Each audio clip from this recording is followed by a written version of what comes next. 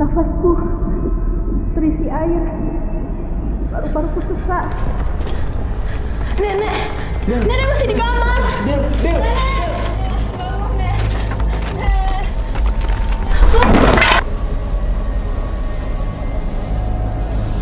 Sepanjang hidupmu, kematian selalu terkena bencana.